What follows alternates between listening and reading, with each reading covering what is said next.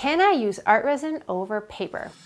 Yes, you can use ArtResin over paper. Now paper comes in various different qualities and thicknesses, so it's always best practice to use a sealant to make sure that the ArtResin doesn't saturate into the paper, giving you some unwanted wet spots. So long as you use a sealant, you're good to go.